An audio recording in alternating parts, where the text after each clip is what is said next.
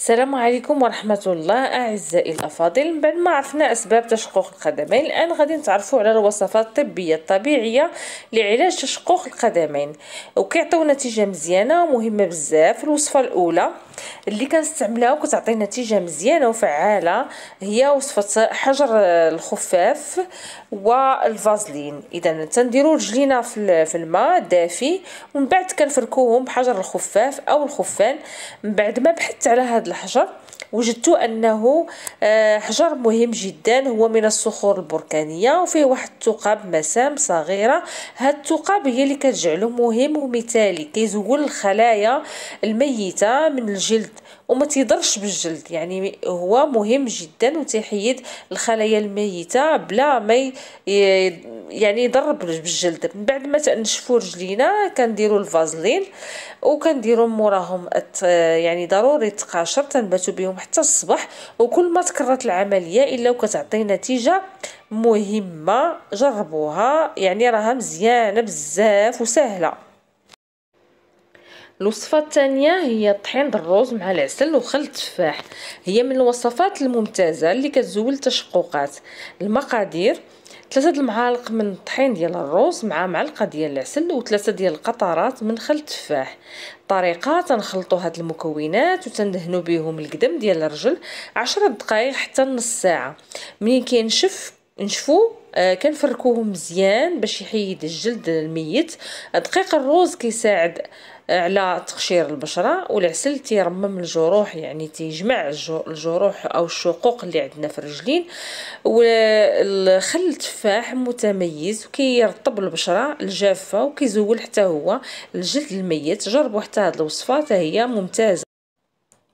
الوصفة الثالثة هي السكر البني والليمون أي الحامض وزيت الزيتون. المكونات عندنا 8 المعالق ديال السكر البني ومعلقة ديال زيت الزيتون ومعلقة ديال عصير الحامض أو الليمون ونص كاس ديال الماء دافي أو كاس طريقة التحضير. نوضعوا هاد المكونات في الإناء أو وعاء وكنخلطوهم مزيان نعجنوهم حتى يوليو بحال العجين ونفركو بهم رجلينا آه، بالأخص في القدم. يعني من عشرة دقائق حتى نص ساعة. وحتى ينشف هاد المكونات ونغسلو رجلينا مزيان بالماء ونشفوهم. فحتى هاد الوصفة هذه راه مزيانة وطبيعية ومكونات ديالها كلها فيتامينات وكلها مرطبات تترطب الجلد وكتحيد يعني آه، الشقوق وكتعطي الليونة للجلد. الوصفة الرابعة هي خل تفاح مع الماء. آه، المكونات كنديروا كاس ديال خل التفاح مع الماء الإناء اللي غنوضعوا فيه رجلينا غنحطوا فيه رجلينا. طريقه كنرقدوا رجلينا في خل التفاح والماء من ربع ساعة حتى نص ساعة.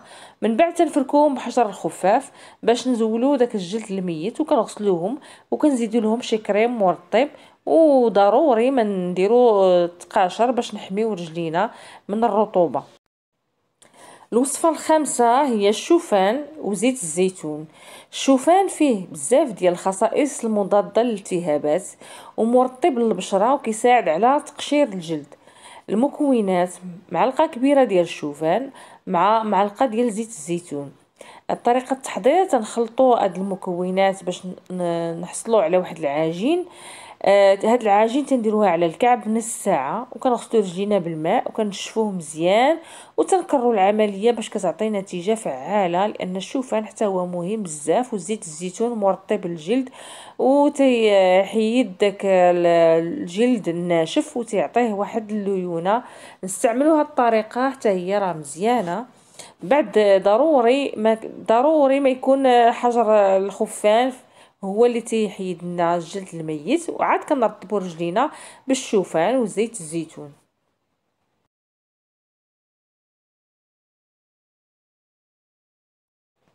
الوصفة السادسة هي صودا ديال الخبز أو بيكربونات الصوديوم. الصودا ديال الخبز كتحيد الجلد الميت ومضاده للالتهابات وكتحيد الروائح الكريهة يعني الريحة اللي ما زويناش كتزولها من القدم ديال الرجلين. المكونات ثلاثة المعالق ديال الصودا كنديروهم في واحد الإناء وفيه الماء الدافي وكنخليو رجلينا فيه ربع ساعة ونفركوهم بالحجر الخفاف. من بعد كنغسلوهم وكنشفوهم حتى هاد الوصفة حتى هي ممتازة وصحية. وكتعطي واحد النتيجة فعالة جربوها. آه، وغادي تشوفوا من من الاستعمال الأول يعني كتبان لكم آه، النتيجة.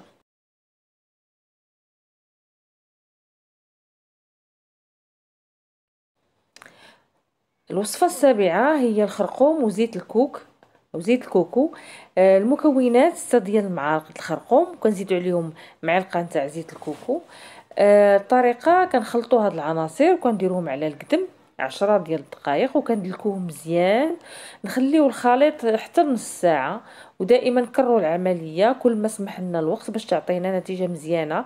وهاد المكونات هادو تنديروهم بعد ما نكونوا فركنا رجلينا بحجر الخفاف ونشفنا رجلينا مزيان. وتنديروا هاد الخرقوم وزيت الكوكو باش يرطب لنا الجلد ويجمع لنا الجروح. والخرقوم صحي وزيت الكوكو صحي حتى هو مزيان ومفيد ديال الجسم. يعني نستعملوا هاد الطريقة حتى هي مزيانة ومفيدة للقدمين.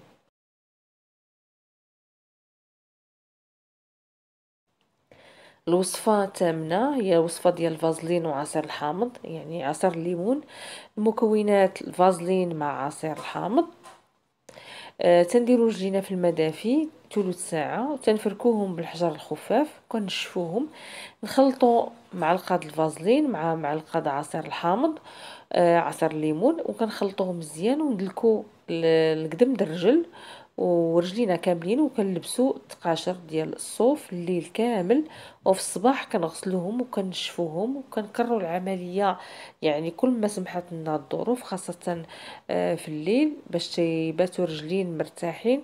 وهاد الوصفة هي راه مزيانة هاد الفازلين وعصير الليمون آه، كلهم صحيين وتيرطبوا الجلد وكيحيدوا النشوفية ديال الجلد وكيساعدوا في ترميم ديال الشقوق ديال آه، القدمين. نتمنى يكونوا هاد الوصفات عجبوكم ونتمنى أنكم تجربوهم. وصفات كلها اللي هي طبيعية وصحية وما نعكزوش على الاستعمال ديالهم. يعني يمكننا نديروهم آه، كل مرة يعني ثلاثة المرات في الأسبوع ولا سمح الوقت علاش علاش ما نستعملوهاش يوميا باش تعطينا واحد النتيجة فعالة. ولا عجبتكم القناة دعمونا وشاركوا معنا باش يوصلكم الجديد إن شاء الله.